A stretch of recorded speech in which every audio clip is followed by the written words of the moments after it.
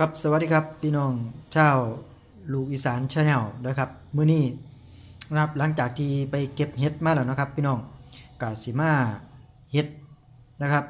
แกงเห็ดนะครับสู่พี่น้องเบิ่งนะครับ แกงแบบเล่าวๆแกงแบบอีสานบานเฮาครับ พี่น้องอะมาเบิ่งอ่าอุปอุปกรณ์นะครับในการเห็ดของเฮานะครับเนาะอะก็มี เห็ดเพาะนะครับที่ไปเก็บมานะครับเก็บมาสดสดร้อนๆนะครับเห็ดเพาะลูกใหญ่ครับพี่น้องครับ เม็ดใหญ่เนาะอ่าใหญ่ก็โปูมืออยู่เลยครับพี่น้องเห็ดเพาะนะครับอ่าเป็นเห็ดเพาะหนังนะครับพี่น้องเนาะอ่าเห็ดเพาะหนังนะครับก็มีเห็ดเพาะนะครับพี่น้องมีเครื่องแกงครับ เครื่องแกงนี่ก็มีข่าตะไคร้ใบมะกรูดนะครับ พี่น้อง คนอีสานบ้านเฮานี่ขาดบ่ได้นะครับแล้วก็หอมแดงครับอ่าหอมแดง โคกให้เข้ากันนะครับตำให้เข้ากันนะครับ แล้วก็นี่ครับน้ำปลาแดกครับอ่าปลาแดกปลาลาบ้านเฮานี่ครับอ่าปลาแดกทางอีสานนี่แซ่บแน่นอนครับอ่าแล้วก็มาแมงลักครับใบแมงลักนะครับเฮาสิใส่ตอนท้ายนะครับ เพื่อเพิ่มกลิ่นหอมนะครับเนาะ สิ่งที่ขาดไม่ได้เลยนะครับ ในการเฮ็ดเฮ็ดนะครับเฮ็ดทุกครั้งแม่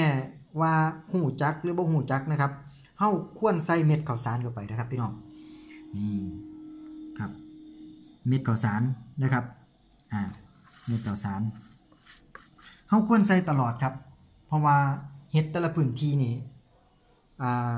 มันบ่คือกันครับพี่น้องเนาะ มันอาจสิได้รับพิษจากดินจากยังมานะครับเฮากับบรูนะครับอะก่อนอื่นเลยนะครับเฮากับต้มน้ำนะครับต้มน้ำให้เดือดนะครับพี่น้องเนาะเฮากับมาใส่อ่าเมล็ดข้าวสารนะครับพี่น้องนี่เมล็ดข้าวสารเฮาใส่ลงไปก่อนนะครับเด้ออ่ามันก็เป็นการป้องกันอีกวิธีหนึ่งนะครับ เพราะว่าเมล็ดข้าวสารนี่สะดูดสารพิษจากเห็ดออกไปนะครับ ถ้าเกิดว่าเมล็ดข้าวสารนี่มันเป็นสีดำนะครับอย่าไปกินเป็นอันขาดนะครับ มันเปลี่ยนสีเป็นสีดำแต่ถ้าเกิดว่ามันใสอยู่คือเก่านี่ แสดงว่าเฮากินได้ครับพี่น้องครับเนาะอ่าแล้วเฮามาใส่อีกอย่างหนึ่งนะครับ คนอีสานต้องใส่ครับอ่าคนอีสานขาดบ่ได้ครับ นี่ครับ เกลือครับอ่าเป็นเกลือเกลือแกงนี่แหละครับอ่าเฮาก็ใส่เกลือ ลงไปเลยนะครับพี่น้องเนาะเราก็ใส่เกลือลงไปเลยนะครับคนอีสานสิบ่มักใส่น้ำปูน้ำปลานะครับ ใส่ปลาแดกกับเกลือนี่ครับสุดยอดเลยเห็ดแบบเล่าๆนะครับ พี่น้องเนาะ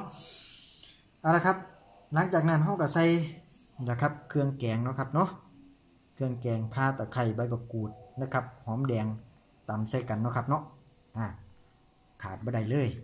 นะครับเขาก็ใส่ลงไปเลยใส่หลายแสบหลายครับเครื่องแกงนะครับเนาะอ่าเขาก็ต้มไปแบบ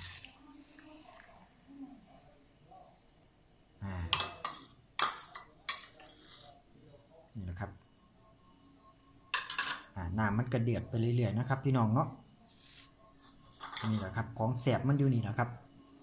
คือว่าเขาต้มรอให้เครื่องมันแตกครับ รื่องมันแตกมันสิเขาพริกเขาเกลือนะครับ พี่น้องเนาะอ่าหลังจากนั้นเขากะใส่ชูรสจักน้อยนะครับ ใส่ผงชูรส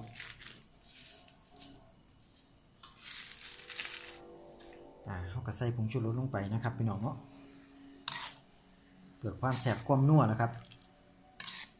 สมัยตะกี้ตะกอนบ่มีหรอกครับผงชูรสใส่ใบบักเขียบนะครับ พี่น้องเนาะใส่ใบบักเขียบ นะครับหรือใบน้อยหนานะครับมักกะจีซอย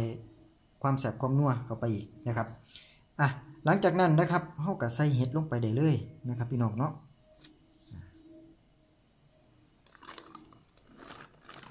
ครับเฮาก็ใส่เห็ดเพาะลงไปเลยครับ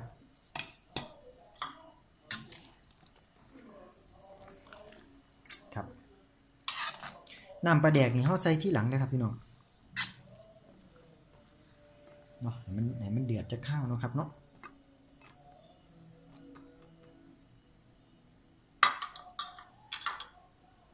เดี๋ยวนำปลาแดกเข้ากับไส้ที่หลังเนาะครับเดี๋ยวให้มันเดือดจะข้าวนะครับเนาะพี่น้องถาข้าวเดียวนะครับนะครับ เดี๋ยวปิดฝาไปก่อนเนาะอ่าเดี๋ยว ปิดฝาไปก่อนสักครู่ครับพี่น้องครับเอาละครับพี่น้องหลังจากที่น้ำมันเดือดนะครับกะต้มมาได้สักระยะหนึ่งนะครับเฮากะใส่น้ำปลาแดกลงไปนะครับพี่น้องครับใส่ลงไปเลยนะครับเพื่อความกลมกลมนะครับเนาะโอ้ยอยากให้พี่น้อง อยู่น้ำนะครับ เพราะว่ากินโชยนะครับ กินโชยครับพี่น้องครับเนาะสุดยอดเลยนะครับเอาละครับ หลังจากนั้นนะครับเฮากะเอาใบแมงลักนะครับเนาะใบแมงลักแมงลักโรยลงไปเลยนะครับพี่น้องกะเป็นอันเสร็จนะครับ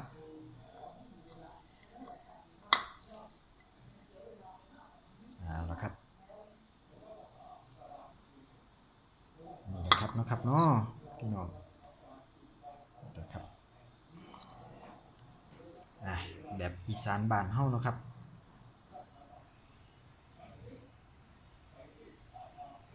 โอ้ยกลินหอมแห้งครับพี่น้องเนาะ